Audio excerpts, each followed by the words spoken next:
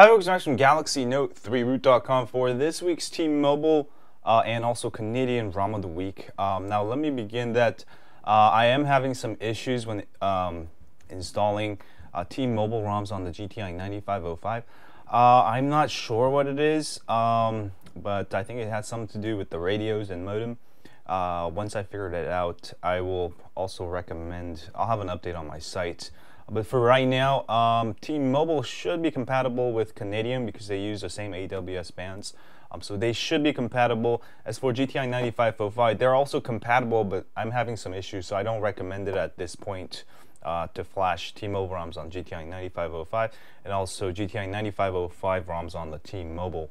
Uh, but once I've tested all of that, um, I should have an update. But for now, you can go ahead and install this on T-Mobile or Canadian, and let's get on with the uh, ROM of the week here. Um, Jedi Elite ROM. Uh, for those of you who've followed me on the Note 2 root site, um, you probably know Jedi X was probably one of the coolest ROMs um, because it has a ton of features and uh, you know based on still based on the original Samsung firmware.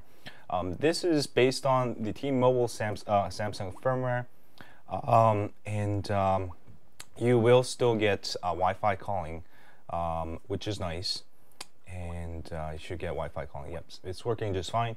Um, and uh, very nice ROM. Uh, PTMR3 has done an excellent job of um, tweaking the TouchWiz a little bit so you get the little bar at the bottom and you get a nice 5x5 so you have more room for your apps. Also 5x5 uh, app drawer. So that is very nice. And also you'll notice you get two cameras. Let me go ahead and um, make it alphabetized. Um, you get two cameras working out of the box flawless. So you get Android 4.3 uh, camera, which you can record videos. Um, you can also uh, do photosphere, everything working flawless out of the box. So that is nice. Uh, and also let me go ahead and show you some other stuff. Um, it's pretty much you'll you'll still be able to keep all of your stuff. Um, you get the nice pen, pen window manager app um, included. So you can go ahead and include these for all of your pen windows, favorite windows. Um, you'll be able to add these windows. Now, right now, only six are app apps are uh, supported. You can go ahead and use Pen Manager to add more apps. I have a uh, tutorial guide on that, so check that out. And uh, you'll see the sounds. You just probably heard some sounds there. That's kind of like the lightsaber sound, which is kind of cool. Uh, also new. Um, and also you'll get Jedi ROM tricks, uh, which will allow you to get keyboard switcher, LMT Pie controls. I have a full tutorial guide on that. Um, I think I did activate it. Oh, you know what? I didn't auto start it. There we go. And you, you can do this and you can go to home or you can put uh, your shortcuts, all that good stuff uh, with Jedi ROM tricks. And there should be more coming in the future version. I'll have an update. Also, floating notifications. If you want floating notifications, I have a full tutorial guide on that. Also, uh, Xposed installer, go to framework. Uh, make sure you hit install update like this. Grant, okay. Uh, and then go to modules and enable um, app settings and Wanam Xposed. Um, I'm exposed app allows you to customize your UI, add system shortcuts, all of that good stuff. Also, app settings allows you to run apps in tablets, phone mode. I also have a full tutorial guide on that. I'll have all of those tutorials on my site um, just in case you guys are new to this. Uh, and also, let me go over some of the cool stuff with it. Um, does come with Viper for Android, which I also have a full tutorial guide on that. This is awesome awesome. The most awesome Android app you can only get with rooted uh, phones or with custom ROMs such as this. Uh, also, Wanam Xposed. Um, this will allow you to add shortcuts like I was telling you. Eh, I'm not going to show it to you. Just watch my other video that shows you all the features. Um, also, Trickster Mod. And uh, this is great. It also comes with a custom kernel built by also PTMR3. Uh, he's getting very good at building kernels, which is uh, I'm really proud of him. anyway, a Saber N3 kernel. Um, this thing is awesome. You can overclock it. Uh, just use the Trickster mod here.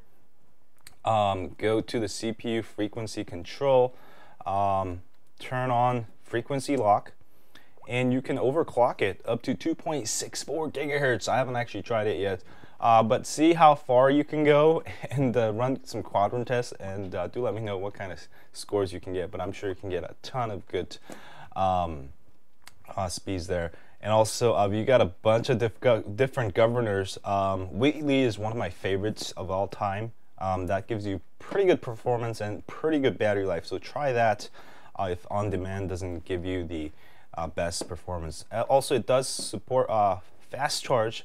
This will uh, disable your USB um, connection to your computer, but it will charge your phone much, much faster. Um, also, voltage control here um, to save you some battery life if you want, and some additional stuff there. Um, overall, it looks really solid. Uh, it's got pretty much everything you would want in a ROM. And also, uh, there is performance improvements on this one over stock. Um, it is much, much faster. And also, um, for music player, you've got uh, Next Music there. And I believe the Samsung Music has been taken out. Oh yeah. Um, that will actually work better with Viper 4 Android because the stock Note 3 music player does not work with uh, Viper 4 Android. So that might be actually a plus.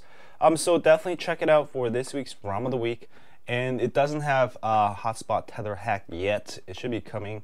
Also, um, yeah, I should have an update on how to do that soon.